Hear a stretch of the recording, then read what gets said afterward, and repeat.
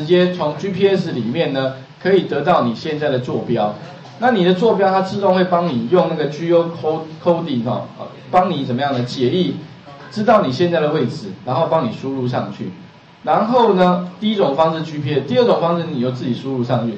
比如说你要从哪里到哪里，那我上个礼拜有有示范给各位看，就比如说我今天呢，希望从什么呢？台台北车站好了，比如说我从台北车站要到我们学校的话呢，那这个地方哈该怎么？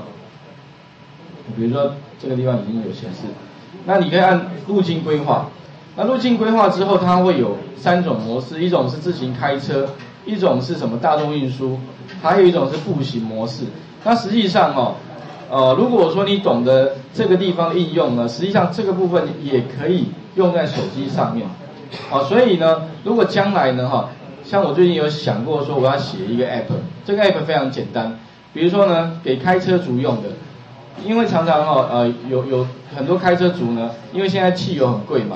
那如果说我可以写个 app 很简单。我只要告诉你，只要告诉我目的地在哪里，那我可以从 GPS 知道你现在的位置，然后呢，告诉你说走哪一条路最省最省油，哦最省油。那如果说呢，里面我可以取得哪里有塞车的话，我也可以跟你讲说，你可以回避那一条，因为塞车的话呢，当然也是浪费时间又浪费汽油。OK，哦，那当然如果说你要规划出路程的话，其实你可以把。这个呃，Google Map 里面的这个什么呢？大众运输有吗？它也可以帮你取得相关的讯息。